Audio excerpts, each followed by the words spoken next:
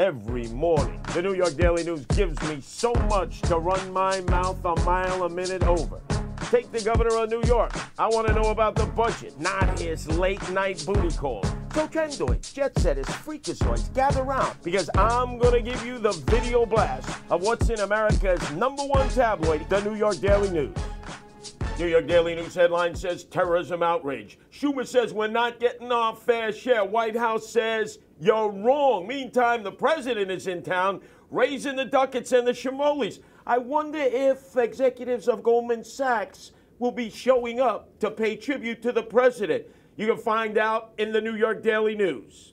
Story 2 has Rick Lazio attacking Andrew Cuomo as being the second coming of Eliot Spitzer, that freaking steamroller. We're out of the way. The war is on for the governorship. Take off the gloves. It's Lazio versus Cuomo. Yet when they were in Washington, the story says they were the best of buddies, ukumbare chiches. Read more in tomorrow's Daily News.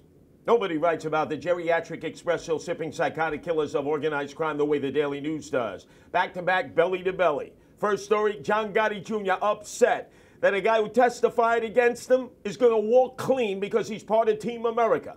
But then we flip the script to Vinny. Hello, gorgeous Basciano, friend of John Gotti Jr., but head of the Bonanno crime family. He's in the stir 23 hours a day, facing triple life without parole. He demands of the federal judge, I want to see my wife in one hour, and a half hour later, I want to see my gumbara, my woman on the side, and I want conjugal visits. And yes, because I have that tan 24 7 365, I want more canisters of Mantan available to me in the commissary.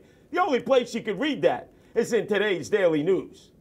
Back page is sports. Phil Hughes, again a winner against the Tigers. But the real story was Javier Vazquez breaks the Cucamonga streak by proving he can pitch well as a Yankee, not just in that other league. He loses 2 0 to the Tigers, but he pitches a great seven, only in the sports section of today's Daily News. Whenever I read the New York Daily News, I get into flashback mode when I was a young little whippersnapper. Each day delivering 168 dailies, and on Sunday a whopping 182. Oh, that's right, kid. Oh, hey, man. Thank you.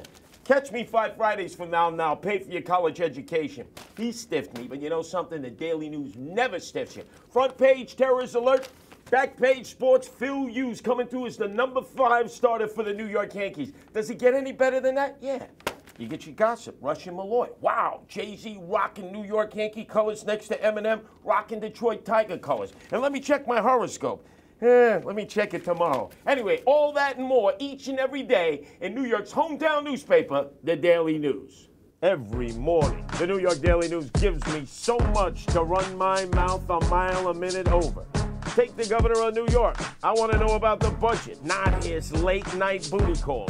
So trendoids, jet setters, freakazoids, gather round because I'm going to give you the video blast of what's in America's number one tabloid, the New York Daily News.